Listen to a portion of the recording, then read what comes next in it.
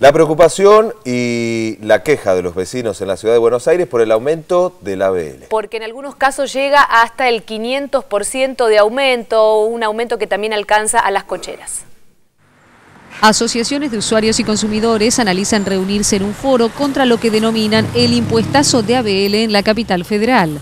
Además, respaldan la intimación al administrador general de ingresos públicos porteño, Carlos Walter, para que explique en la legislatura cómo y por qué se aplicaron los aumentos que impactan sobre todo en la zona sur de la ciudad. La zona sur es la que tiene menos calidad de servicio ya históricamente y como hay un piso de 600 pesos, ninguna propiedad puede pagar menos de 600 pesos en, de, ABL, resulta que eh, se le hace el aumento proporcional y se le suma lo que le falta para llegar a 600 pesos, lo que significa que si calculamos el porcentaje, las propiedades de menor valor, eh, que implica personas con menos capacidad contributiva, han recibido un impacto porcentual más alto. Quienes tienen bauleras también recibieron las boletas con un aumento inesperado de ABL para unidades complementarias, que serían cocheras, bauleras y otros de este tipo, eh, el piso mínimo son 200 pesos.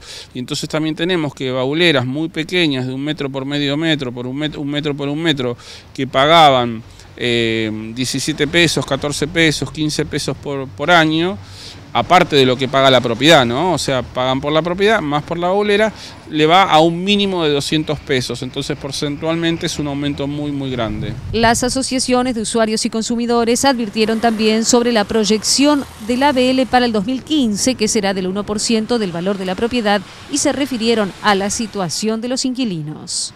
Hay alrededor de 250.000 viviendas en la capital federal alquiladas. Si se llegan a este tipo de aumentos tan altos, los inquilinos, además de pagar los alquileres, que ya de por sí están altos, van a tener que además pagar el, el ABL medio exorbitante.